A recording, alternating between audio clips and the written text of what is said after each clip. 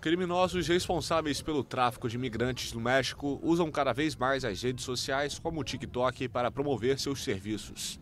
Eles se oferecem para cruzar a fronteira americana pelo inóspito deserto de Sonora, no noroeste do país, ou passar migrantes por Tamaulipas.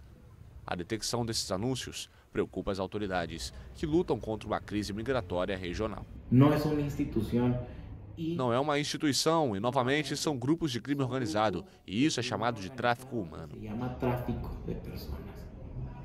Segundo a Organização Internacional para as Migrações, cerca de 7.600 migrantes morreram ou desapareceram a caminho dos Estados Unidos desde 2014. Pelo menos 988 perderam a vida em acidentes ou em viagens em condições subhumanas. O hecho de contactar a pessoas que se desconhecem que se que não mostram. O fato de entrar em contato com pessoas desconhecidas que não aparecem e não manuseiam informações oficiais também põe em risco a segurança própria e institucional. Em peligro a segurança eh, e a segurança patrimonial.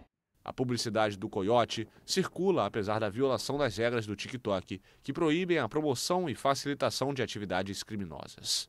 No terceiro trimestre de 2022, o TikTok removeu 82% dos vídeos vinculados a práticas criminosas por iniciativa própria.